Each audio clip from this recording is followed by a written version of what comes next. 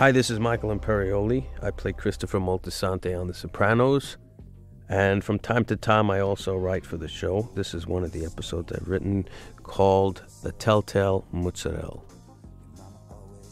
I like having the Twin Towers, seeing those. I mean, it's kind of a memorial to them, and I like seeing them in the beginning of our show.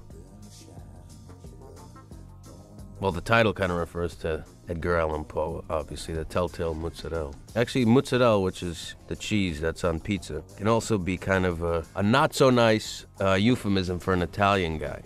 So it could kind of refer to Jackie Jr. because of the lies that he tells.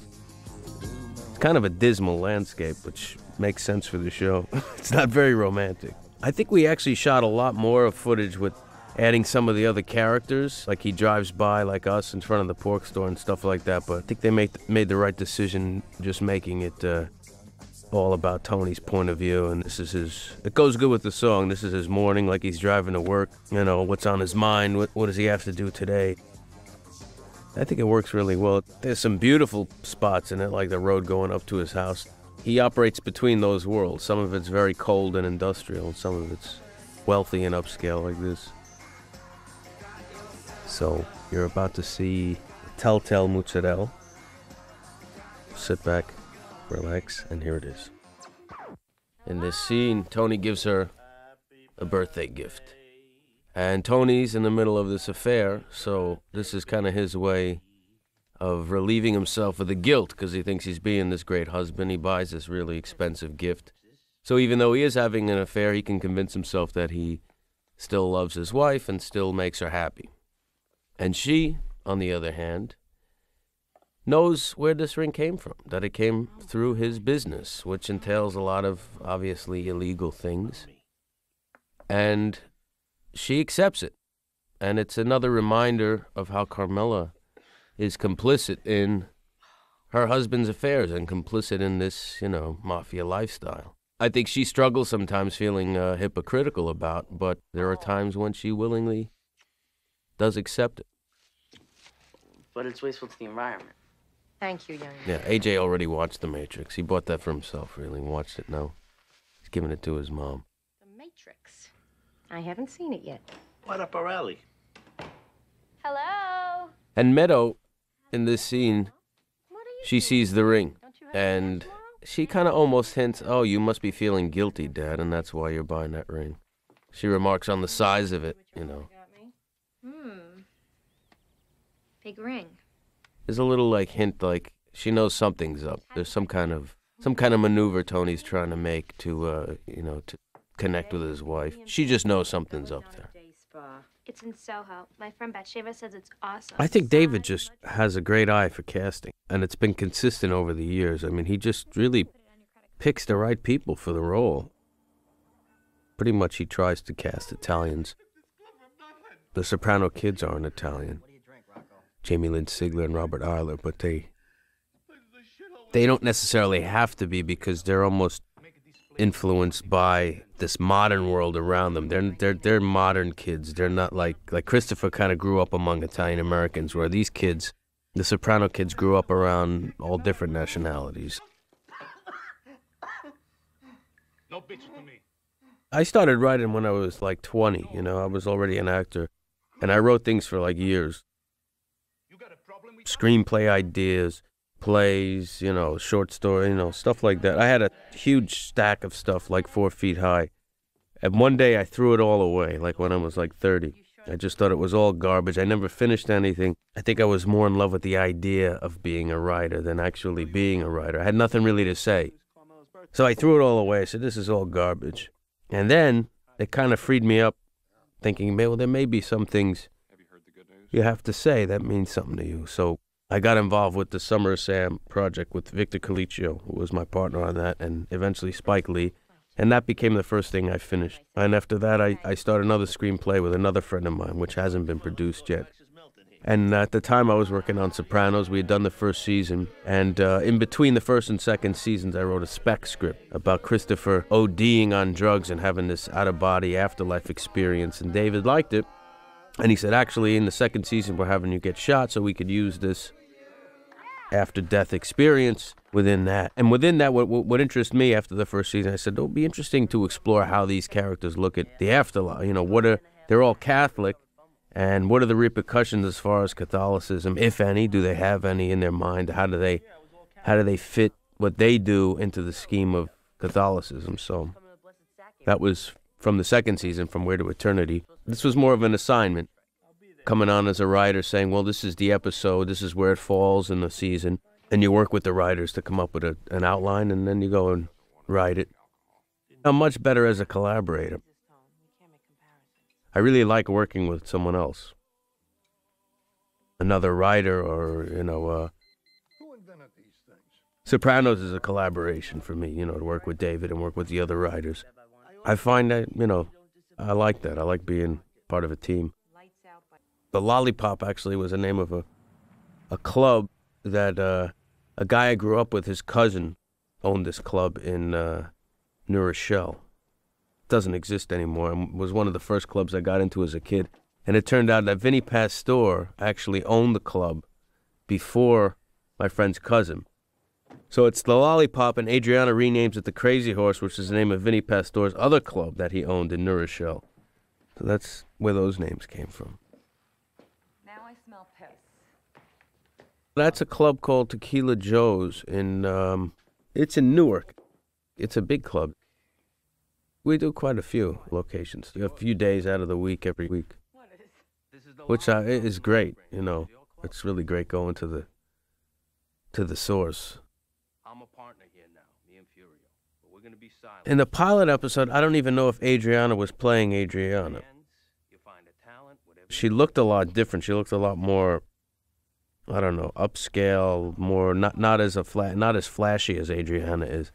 And when they we came back and started shooting the first season, they had this character Adriana and Drea de Matteo auditioned for it, and they just really, they really loved her. That character, I think, was inspired by her. I mean, it wasn't written as a big character in the beginning, and because of what she brought to it, I think um, David and the writers really expanded it into something, you know, and the relationship we have you know, made it a bigger part of the story based on her, you know, acting and her, her great work. The movie Tony's watching, by the way, is called It's a Gift, the great W.C. Fields. David Chase is a big W.C. Fields fan. So now we have Carmela kind of thinking about where this ring came from and more importantly, why he bought it for her.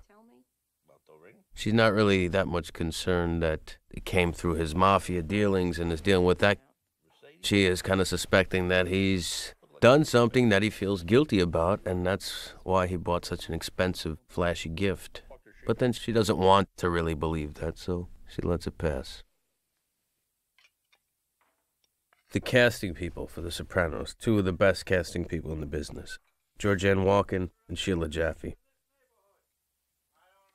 I had done a play that they cast maybe 10 years ago, and a couple of independent movies along the way. Trees Lounge, that Steve Buscemi directed. On the Run, that independent movie I did with John Ventimiglia. Any kind of young Italian guy, they'd always bring me in for an audition. So I met David Chase. I thought he was really bored by me and that I wasn't getting it because usually when you audition for someone and they give you direction, it means, well, you think it means as an actor because it's such an intimidating thing to audition for somebody they give you direction, you think you're not getting it. And he kept giving me direction. I said, I'm, I'm sinking here. I'm, I'm just not getting it. He's been on his best behavior lately. I can't deny that. I just never. And then I got a call and they said they um want you to fly to Los Angeles to audition for the network. I was very shocked. I just didn't uh, think that they were interested, but they were. So flew out to L.A. They put you in a hotel, and then you have to perform a couple of scenes in a little screening room, you know, uh, for about 15 people, I guess. And I did that, and I got the part. Now, this moment's interesting where Tony kind of likes the idea of Jackie being Meadows' boyfriend because he's one of them, you know, from the neighborhood, from the, you know, friends of the family. And Carmela doesn't like it, and it kind of as Tony learns about her, these uh, situations and attitudes get kind of reversed between Tony and Carmela. You never know what an actor's going to bring to a character. Especially on on a TV show where you build as you go along. You know, you go from season to season, and during the season you do ten shows. An actor can really define how you're going to write a character. What an actor brings to it, their own idiosyncrasies, be it their own or be it the ones they're playing for their character, can really inspire you to take them in different directions. I mean, I, when I wrote From Where to Eternity, I really wanted to write for Tony Sirico's character. Just something about his character, something about him, I get a big kick out of. I wanted to find interesting situations for him to be in. I think what an actor can bring can really inspire you as a writer to, to expand a character. You could start off not having maybe a big part on a show, but if you're doing such great work, you know, the writers will take that and expand it into something big. This was shot in, um, I think this is Harrison High School in New Jersey, this scene. AJ is lost here. I mean, he's like every other teenager. At a certain age, you try to find your identity. Some some kids are leaders, some kids are followers, some kids are in between and do both. But you're trying to fit in with the people you want to fit in with. You don't, you know, you you're trying to get along with girls. It's just a lot of things that are that that are going on, and uh, you wind up doing stupid things. it happens. I don't remember specifically what episode Jackie Jr. was. Uh, introduced him, but it was somewhere in the second season. And he comes into this third season as an interesting character because he's kind of between Tony and Meadow. Meadow, they had all these expectations to be this, you know, cultured Columbia University student, and now she's kind of coming back to Jersey hanging out with this guy from the neighborhood, which is exactly. She's kind of hanging out with a guy like Tony is, but they don't like it. But Tony's kind of in between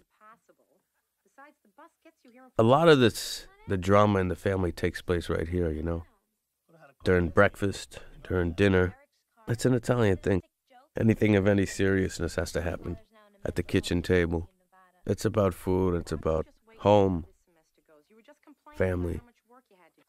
So David had this great eye, and he put this great cast together, and, and wrote this great pilot, and we had this great time doing it, and we said, absolutely no way in the world could this thing ever get picked up. We're having too much fun.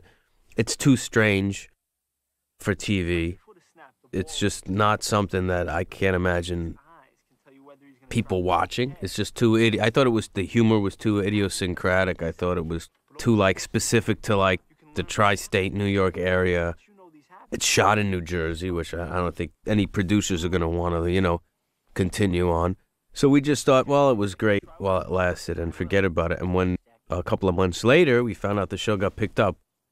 We were really surprised. I mean, really pleasantly surprised, but we were shocked. And then when the show premiered and um, was received with this incredible acclaim and, um, you know, viewer response and, and, and ratings and stuff, we were even more shocked.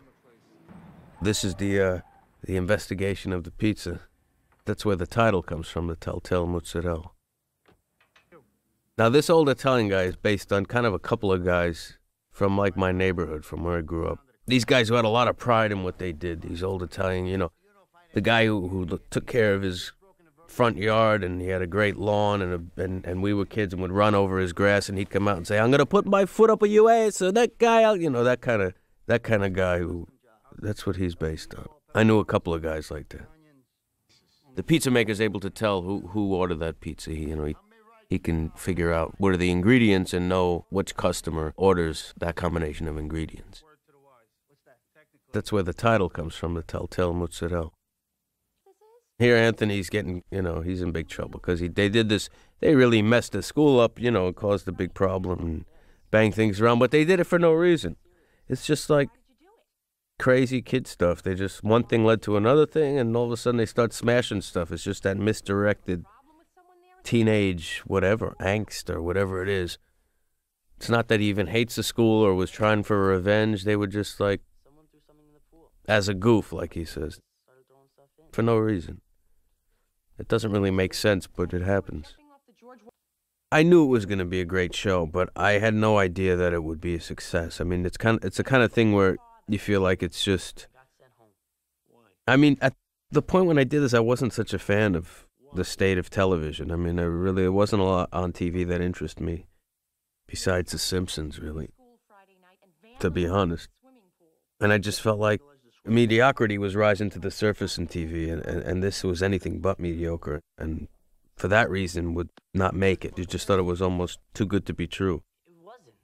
You know, in writing for the characters, I think there's also part of you, you're writing for these actors that you've grown to just have a lot of affection for. They become your friends. So you're, you're you're writing for them and you're writing for the characters, and sometimes those lines get a little blurry. Like you know. Stevie Van Zandt is gonna eat up this line just because you know it. I mean, you know him playing Silvio is gonna just bite into this. You know, John Ventimiglia, if you give him this to do, because I know Johnny so well and I know what.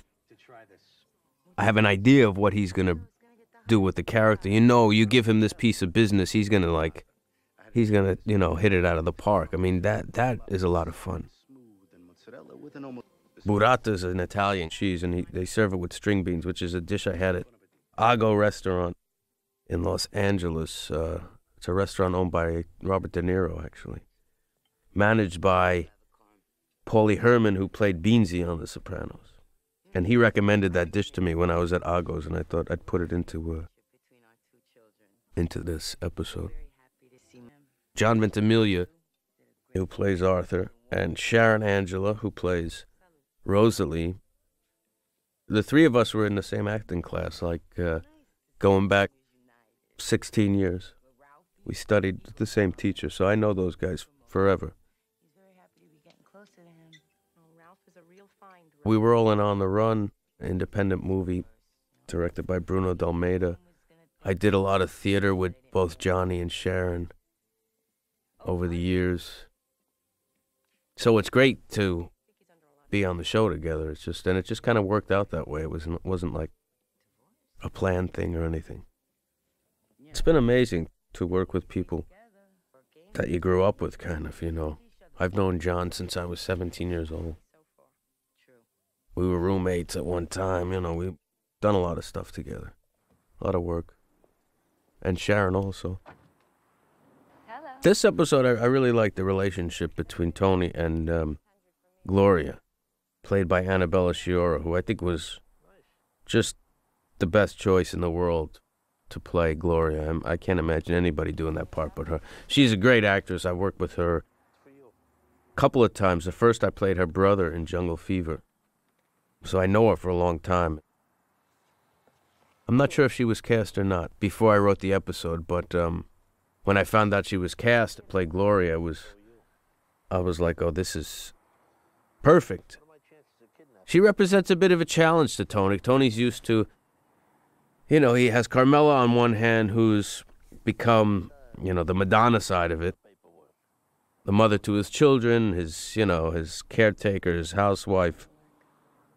On the other side, he had the Gumars, like the, you know, the Russian girl Irina, or he had these, you know, these flings with women who really don't represent any kind of intellectual or emotional challenge to him, pretty much. And this woman, Gloria, comes who's smart, who's independent, who looks at the world a little differently than he does, and he's really into her. So he's all of a sudden on different ground than he's been on before, and I, I, I found that really interesting. His mother was very controlling, Tony's mother, Olivia. You know, Carmela has a bit of that, and Melfi has a bit of that, and that's, you know, part of the attraction, I think. They have both male and female sex organs.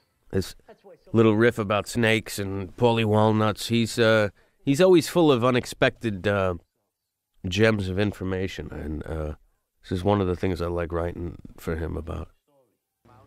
Jackie Jr. is on a bad track here, we can see. He's, uh, he's over his head.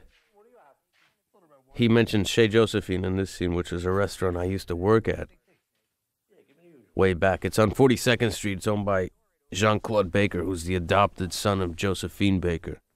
And when I was the waiter there, Harry Connick used to play the piano there. Now I go there as a customer. It's a great place. So when they this episode aired, Jean Claude owner got calls from everybody all over the world calling him up saying, I heard your restaurant mentioned on The Sopranos. So Jackie's just getting in over his head here. He's um he's not cut out to be a mob guy. He's not his father, you know, and he's not Tony. He would have been much better off staying in college and becoming whatever, a doctor or a fashion designer like he has aspirations for. But he, he just gets sucked into this world, and it's um, it's not a good place for him. The worst thing that he does is he busts up this card game that belongs to Ralphie. He shoots the dealer, and everything goes awry from there. He's trying to make his bones, and he doesn't know what he's doing. Tony's looking out for Jackie Jr., you know, uh, uh, one as respect to his father, who was his good friend. I think Tony knows he's not cut out to be a mob guy, and he's trying to keep him away from it. And as he as he sees him drifting into it, he ju- he knows it's a mistake. This is a band. Um, well, in the show they're called the Miami Relatives, but in real life they're a band called Scout, New York band. Um, actually, I introduced them at a benefit. I had seen them play before, and I really liked them. And by chance, David Chase had gotten a tape of theirs, and um, liked them for this for this part. So that was kind of cool. I like John Ventimiglia in this scene. He's uh, out of control, trying to recapture his youth. He, he's starting to wear an earring now, and uh, he's you know getting separated from his wife, and he's all drunk. And David's a huge music fan. And then you have the Stevie Van Zandt connection because he's involved, you know, in the show, obviously, and uh, he brings his his knowledge of music too. I think he's done some work on soundtrack stuff, both having his songs and soundtracks and suggesting music. David's a big rock and roll fan, so so that's always played a big part. Matouche, the drug dealer here, he's um playing a drug dealer who was always selling ecstasy in this club, and now we've moved in and we don't want him in there. We'll probably wind up selling our own stuff or something like that. Except for you. I think they had to go to California to shoot this scene, to be honest. I think it's a zoo in like near L.A. or something. But this scene's great because she's, you know, she's talking about. You know, she's talking about her ideas about the animals, you know, the eyes of the animals, the innocence. Uh, you know, she's just, she's interesting to him. You know, she decides to go to the zoo. She doesn't want, you know, You know other primates? Like roommates of and at the same time, she's reeling him in. He finds his Buddhist talisman for protection. symbol that she wears around her neck, and he immediately tosses it off as, oh God, it's like my sister Janice, who's a nut job, and the Buddhist, and What a symbol. My sister was a Buddhist. but he kind of hears her a little bit. Ah, I see. She talks a little bit about Buddhism, and we see it later on when he talks to Melfi. He hears it, but he uses it for his own benefit to justify his own things. But it's it's just all about her challenging him. But this is a big thing for Tony, I think, to be involved with a woman this way. Annabella Sciorra brings something really special. Absolutely. She's a real challenge to him. She's really she's strong. She doesn't give up her own personality to please him or to, to have him, you know, fall for her. She's uh she's her own person. If he gets it, good, and if he doesn't, too bad. It is kind of out of character for him to fall for someone like this. He doesn't want a wife. He doesn't want those kind of, you know, conflicts. He wants a one who's just gonna kind of not represent any challenge, just kind of like do what she's told, basically, and be a pretty face and, you know, have sex with him when he wants it. But it shows another side to him, and he's a complex character, you know, and and uh, we keep discovering new things about him, and and this relationship brings out a lot. She's got him wrapped around his finger right here at this point. She's he's just like totally nuts about her. You lie. The scenes between Tony and Gloria here, I mean, are really fun. Just the seduction. Her kind of talking about her like philosophies of life. This sex scene here, you know, just the way it kind of happens, the way she she's just like luring him along, and uh, she knows exactly what buttons to push. She knows what to wear, how to look. She's a very sexy character. You know, you could see why he he's just falling for her completely. A white albino python in the background. He was a good actor, that Python. Knew exactly what to do. Understand. So ask Jackie's doing his best Michael Corleone here. That's with the finger to the side of the face and the, you know, he's playing the role of Michael Corleone in this scene. I know Chris. He's he's the big shot here, you know, solving these little problems. He's using all the right words and the uh, Thank you. it's almost like he's he's doing this in front of the mirror, but uh, unfortunately he's doing it in real life. This scene a policy that demands the immediate where the principal and the uh, and the coach are kind of this is like power brokering here, you know. They have a strict no tolerance policy for vandalism, but yet We have decided Tony's a big donator to the school. AJ's doing good on football, so they bend the rules a little bit. This is this is how Tony's world works. his involvement in extracurricular. You scratch my back, I'll scratch yours. He's brought his GPA up to a C minus. So what is And Carmela can't stand the hypocrisy. You better wipe that smile off your face. Edie has Carmela down completely. She does. Look, I told him he's going to be off the team.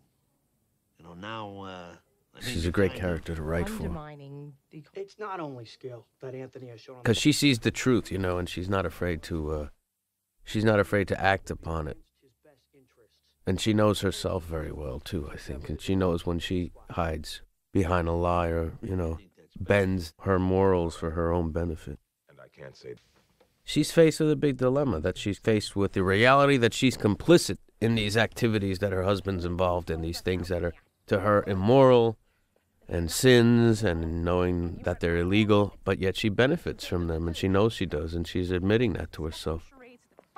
What about the nightmares? None. It is. It is kind of very uh, jarring to see someone else sitting across from Dr. Melfi. Wonderful dream.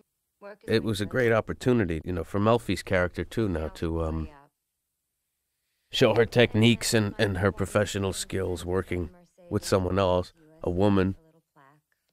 There's a little bit of jealousy here. She knows that, or suspecting at least, that Tony and, and Gloria have hooked up. She's a little angry that she doesn't know what's going on, but I think she's a little jealous that uh, Gloria is getting something that maybe Could've been a mechanic. she was, you know, was interested in a bit. I think she's excited. Uh, Melfi's excited by Tony. I, I I don't think she'd ever sleep with him or necessarily even really wants to, but there's just that there's a tension, and now that Gloria, who's her other patient, is seeing Tony, the jealousy's not necessarily logical that like you're taking my boyfriend away or someone I want to have sex with, but it's just it's more of a sense of I think it's very unprofessional. proprietary or something that uh, the doctor in the ER. the lines are blurred here, you know, as far as boundaries, and, and I think it makes for interesting drama and tension. Stevie Van Zandt playing Silvio. Dante giving his tips on uh, the nightclub business. One of my favorite characters, Silvio Dante. The thing that keeps me going as a writer, probably the thing I'll always write about, is about a person's struggle with themselves. Basically, between good and evil, in a sense, between the dark and the light, between those two forces, and how you navigate through those things.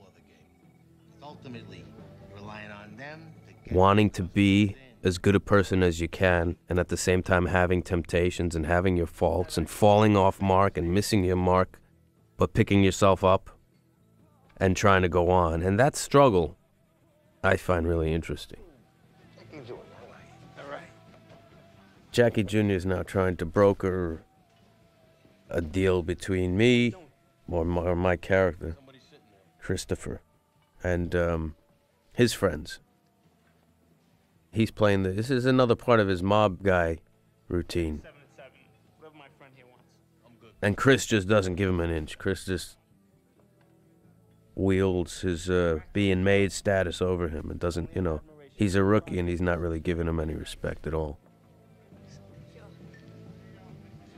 Wanted to have a little sit down with you about a. i think jackie would have been a lot better off if he had more of a mentor to take him into the business and ralphie's not a good mentor for him and or doesn't really take him under his wing but mine. Exit the club before you took over. And Jackie Jr. is a renegade and he's trying to make his bones on his own and he doesn't really know what to do, you know. Christopher has the benefit of Tony being his mentor, taking him through this you know, the the levels of becoming a wise guy, You get a piece of whatever he does. and uh, it's a big difference.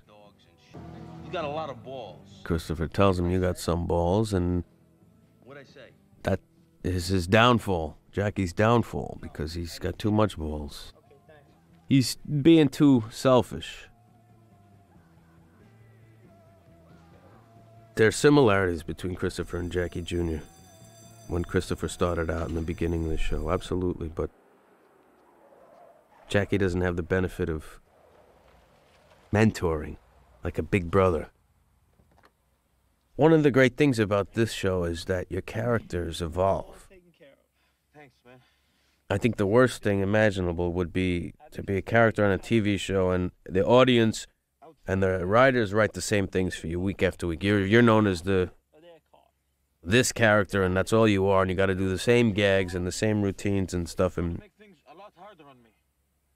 Christopher's been able to evolve from the beginning. You know, he was really you know, a kid when we started this and now after being made, he's he's accepting responsibility and he's dealing with. He still makes his mistakes, big ones, and is still The way it is. That's the way it is. I'll see. You know, he's not totally matured, but he's on, you know, it's developing as he goes, and, and, and that's interesting. So now Jackie wants a piece of his action because he went out and did a favor for the guy. I think there's more of a similarity between what I would write for theater and how I would approach, or how I do approach writing for film, and The Sopranos.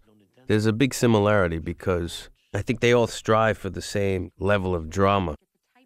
My goal in the next few years is to open a theater, a small theater in New York, where if I write a one act play or a friend of mine or someone I know, you know, writes one up, we can just get a couple of actors together, a little bit of a set, get some people down to look at it, you know, rehearse it a bit and get some people to look, you know, to be able to have that immediacy of just getting up and doing something. I mean, to do a movie takes millions of dollars and a big crew, and to do a TV show, the same thing. But you can workshop a play for, you know, not a lot of money and not, not involving a lot of logistics and other people. And um, that immediacy, you know, to be able to like just find a project you want to work on it, let's work on it.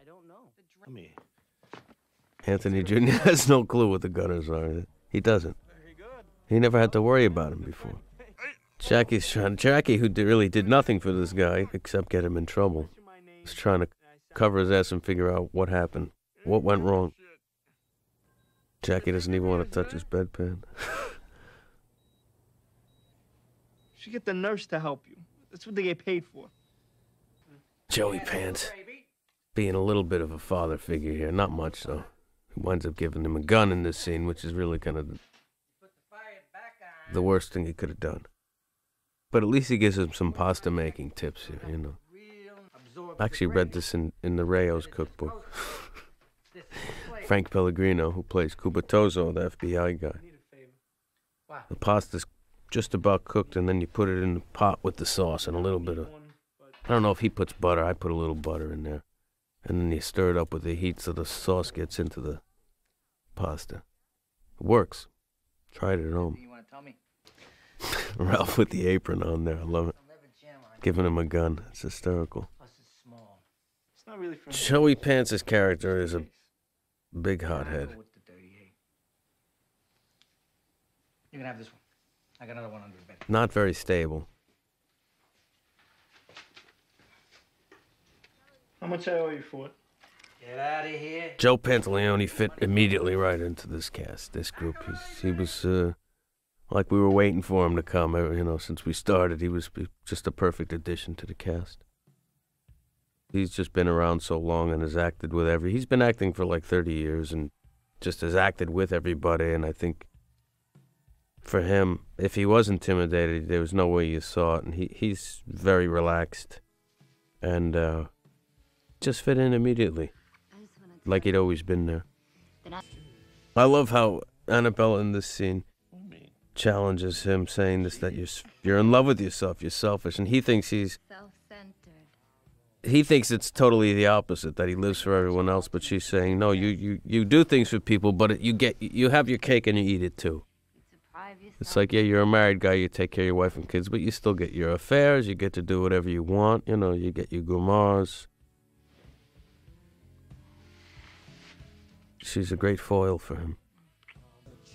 I like the way Gloria's character is unraveled over the course of the episodes that she's in.